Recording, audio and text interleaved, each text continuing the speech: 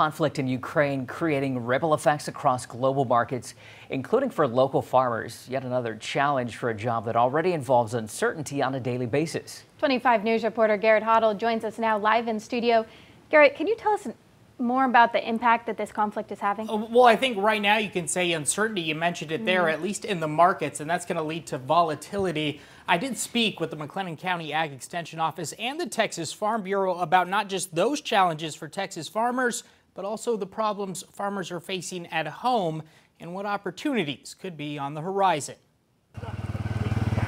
Perhaps it's the only job where the only constant is change and the only certainty is, well, uncertainty, farming. It's always a challenge farming in Central Texas. What type of challenge? That seems to change by the day. Dr. Shane McLellan with the Texas A&M AgriLife Extension Service knows them well. Right now he says McLennan County farmers are planting corn and grain sorghum. Corn really is our biggest crop in the county. We'll have 50 to 60,000 acres of, of corn and anywhere from 10 to 13,000 acres of, of, grain sorghum. But weather-related challenges persist for multiple crops. Setbacks seem to stack up from the ground. As far as planting corn and grain sorghum, ground temperatures have just been too cool. To the sky. We can't get a rain to grow wheat. You know, our, our wheat's struggling right now. And right now, farmers aren't just seeing challenge or change outside their front door. It's on the TV screen on the other side of the globe. Ripple effects on Texas agriculture markets stemming from the ensuing conflict in Ukraine. Uh, Ukraine and Russia together account for about 30% of the world's wheat exports and then about 20% combined of the world's corn exports. Brant Wilbourn of Texas Farm Bureau says since the first day of the conflict, commodity markets saw a dramatic increase.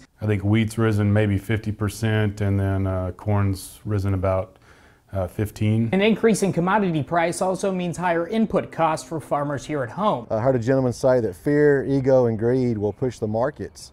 We always talk about supply and demand, but fear, ego, and greed are all going on right now. A concern before the conflict over rising prices from fertilizer. So fertilizer prices have, have really gone through the roof this past year anywhere from 150 to 200 percent increases depending on the type of fertilizer utilized by the producer. To the more recent concern over the spike in price for fuel preside, and as the conflict continues, Wilbourn says for now, uncertainty has led to market volatility. Predicting a future isn't easy. That's tough to say because there's there's a lot of factors. But if history is any indication, looking at the Texas farmer today, McLellan says you'll see they change as the world does. Um, now they're, they're walking technical experts about seed, about fertilizer, about fuel. Uh, efficiency is the key. You minimize costs, try to take advantage of any kind of gains they can, can make.